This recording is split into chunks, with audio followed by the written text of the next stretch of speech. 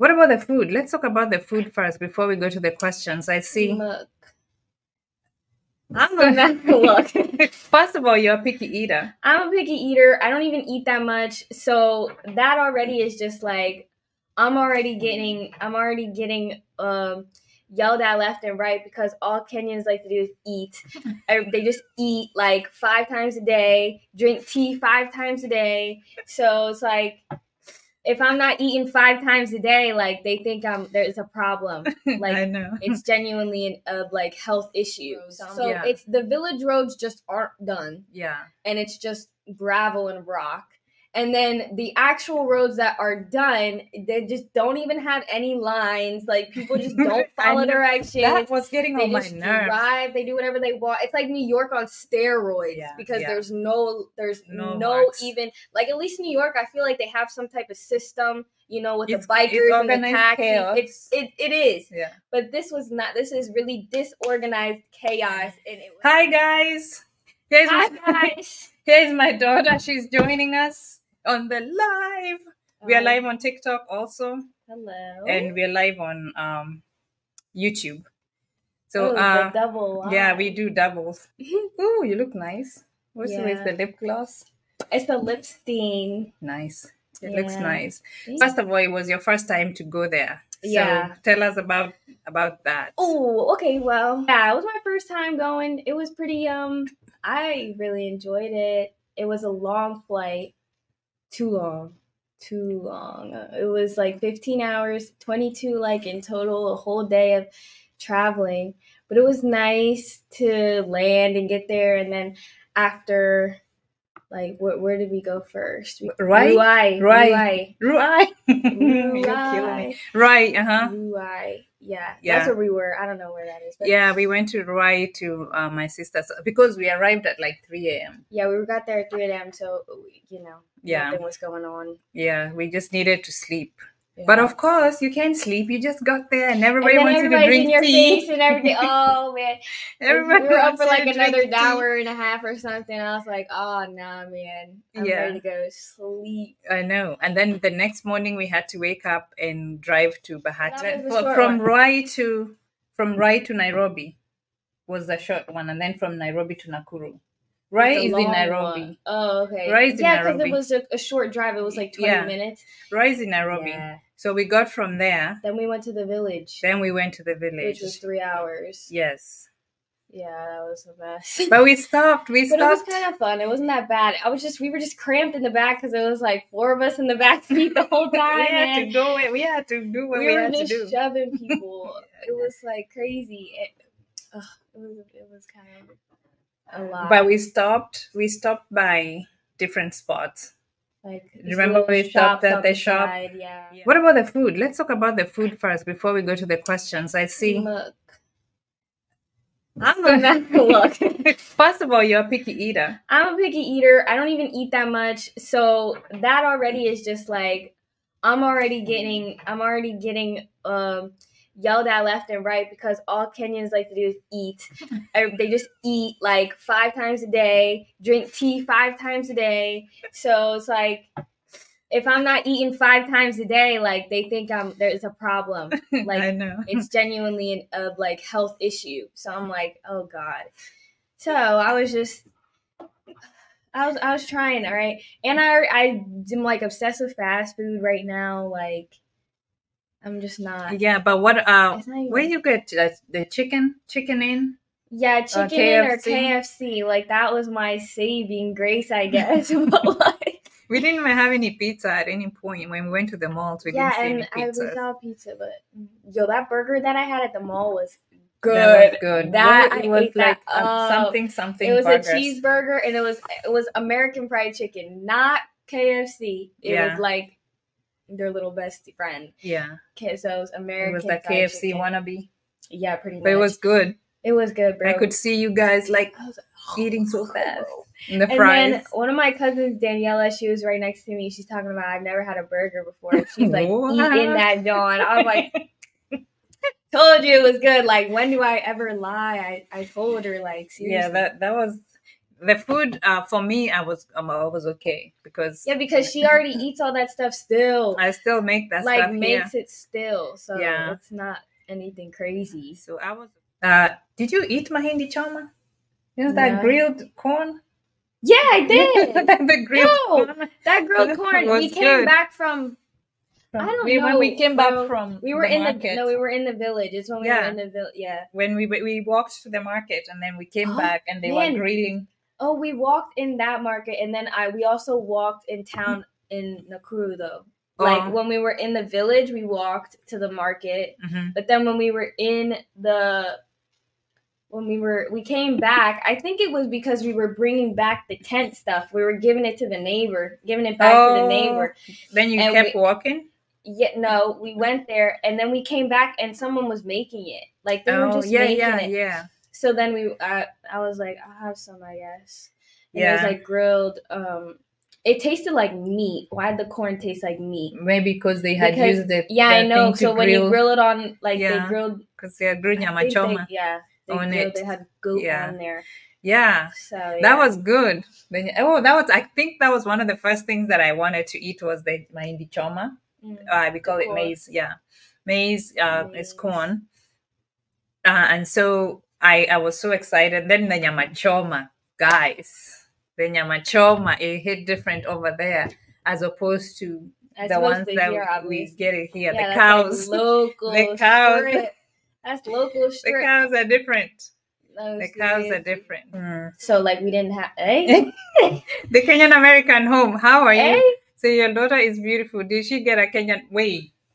Eh? did you? No. i don't know. I even anybody, but the thing is, okay, the thing is, I'm really light skinned, but Yeah. like I could be Kenyan there. Like people would assume I could just be light skinned Kenyan, right? Yeah, because like, Daniela is light skinned. Danielle was light skinned, and then one of my like second cousins or something, her name was Lindsay, and yeah, she's, she's light skinned, light skinned. Yeah. But she, but you know, she's from uh, she's from Kenya. But Yeah. anyway, no. But the guys were looking at me though. they were looking at were they- Everywhere I was walking, they were looking at me. You know, though. most of the time I wasn't hanging out with you guys because me, I was with the women and the Yeah, parents, and, and you I guys, didn't want to get caught up in y'all doing something Yeah. and taking like hours, and then I'm just stranded there because I don't have nowhere to go. and the Gen Zs were by themselves, just doing their own things. So that was crazy. Mm-mm. Nobody was they were- hollering. Nobody was like giving you Yeah, they their were- phone numbers I mean, they stuff. were they were looking for real, but I, I peeped. Mhm. but I wasn't gonna say anything. some. No, because everybody was letting me know like how Kenyan men are, so I was like, nah. Uh oh, is that another topic, guys? Yeah. How does she already know about Kenyan men? already Yani told me. reputation guys. Your reputation is ooh, what what happened? Kenyan men. Ebu mujitete. Ebu tete yourselves. I've heard I've heard all of the all of the whatever I need to hear. So the Kenyan American home says they hate on us, the Kenyan men, so much though. We we are cool. He says Hey, they're, they're, there's still good men out there. But it's like everybody else, right? It's like American men too. Like they're all trash except for like the one percent. You know what I mean? So it's the Wow. same. It's the same everywhere. Like I'm just trying to find the one percent. That's where we're at. Keep looking. If you are at the one percent, my daughter is looking. Hey, Yeah. I'm 20. No young, no young kids out here. Nobody below Nobody below 19. 19. That's disgusting. So Oh, the Kenyan American home. What are some mm. heads up things you would say to a parent traveling with kids to Kenya? just about the sick stuff because they'll probably get sick. I think Yeah, and food, S- food and different food. water. unless your kids are already adapted to Kenyan food, then I'd bring some like Bring some medicine. I brought medicine. sure. I brought medicine. I uh, because my. I didn't know what to expect because I didn't know what what she how she would react. I know I would, I knew I would be Yeah. okay, but I didn't know how she would react Mhm. to the weather, to the food, to anything. So I brought um, ibuprofen, some Tylenol, some anti-fever medications, some anti-diarrhea medications, some anti-constipation, uh, indigestion, Mm-hmm. um, hydrocortisone for itching. Didn't need all that. Um, we didn't. It's better not to need it. I only needed the Alka Seltzer stuff, like the Alka-Seltzer for the sore throat. We Yeah. did that, and then I had brought uh, um, blood pressure kit that I was gonna bring to my sister. So I used that. I, I had the vital signs kit. I had a thermometer. I had Mm-hmm. a pul- pulse pulse ox machine Mhm. to check the oxygen level, and I had the uh, the thermometer. She had like an at-home nurse kit for real. yeah. Like, so I would much. bring that when you have children because um, the the way I knew she was dehydrated was the heart rate was like so high Mm. at some point, so I had to push. We had this powder called liquid IV, Yeah. so I had to mix that with water and have her like drink a whole Drink lot. whole she had thing. brought this water thing. It's probably Picture. 32 ounces. Yeah. So I had to make her drink that uh, because you could see that she was really going down. She was getting Everybody said I looked sick. Everybody said I was yeah, looking sick. yeah. so you, I was like, you are looking sick, and and uh, when I took your vitals, I was like, okay, she needs to drink, and then she wasn't eating enough. So just um, watch your kids while you're there. I know. Um, I know we are having fun with family and enjoying ourselves, but especially the American kids uh, who are not used to being out uh, until they get until they adapt, until their bodies get used to it. Mhm. Uh, watch them because anything can happen very quickly uh, because of changes in weather, changes in food. And it's like any age if you're not accustomed to being there because I have a friend and she went she went to Nairobi like a week or two before we did and she told me the same she told me she woke up in the middle of the night and like threw up like the fumes were crazy like she told me the exact like the same thing like she didn't get a cold but she had like like symptoms and stuff and she wasn't feeling like that good so. Yeah, and she's my age so we were both and then constipation. constipation, by the way, that was actually a thing, and being bloated because the stomach is like, what is going on? What's this food? I'm not used to this food, but because you didn't But eat didn't really eat that enough, much, you wasn't so getting constipated. avoiding. but I know um that that's a thing, and then make sure you drink plenty of water. What would you guys Mm. recommend Kenyans learn from the US as opposed like to something to borrow from here? We're already borrowing a lot of things. Like the malls are almost the same. Yeah. Like Two Rivers, like in the city like nairobi is Yeah. like pretty modernized like if the roads, if if all the roads can be better. damn. Do you remember going to Roy? I wanted to just do. If it was during the day, I would have just come It's off and walked. it's actually all the roads so Yeah. it's the village roads just aren't done Yeah, and it's just gravel and rock and then the actual roads that are done they just don't even have any lines. Like people just don't follow directions that was getting they on my just nerves. drive. They do whatever they want. It's like new york on steroids Yeah, because yeah. there's no there's No no, even like at least new york i feel like they have some type of system you know with It's- the it's bikers and the taxis. Chaos. it's it, it is. Yeah, but this was not this is really disorganized chaos and it was ah she's I, I was feeling like That's if you why we can pray. there, look that's why we were praying before every journey that's why they pray because it's actually actually serious a thing. like it's actually serious Yeah. before any long two hour whatever when, we were all about to travel as a group You yeah, have to dude, pray every it's time. It's a mess You have to pray. But the roads, man. I mean, if we can build the roads, if we can fix the roads, uh, our government officials and, and everybody who's responsible for building those those roads, Kenya would be like.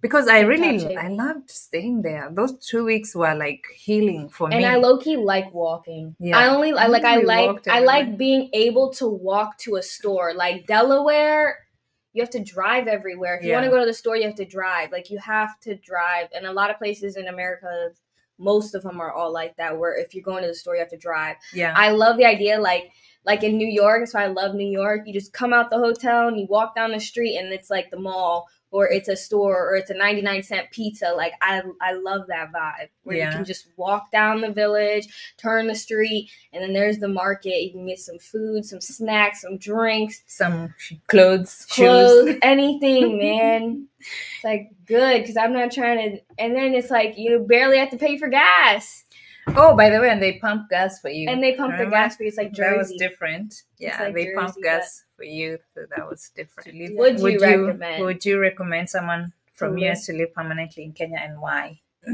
Yes, but it depends on like the type of lifestyle you live. Like Americans are not they're not they're not brought up in the same way that Kenyans are brought up, like if that makes sense. Like they value Kenyans value school a lot. Like we do too, but we're at the point in his in time where it's like not everybody goes to college or not everybody does whatever. So they value school a lot you can't you have like basically no freedom until you're 18 and in college.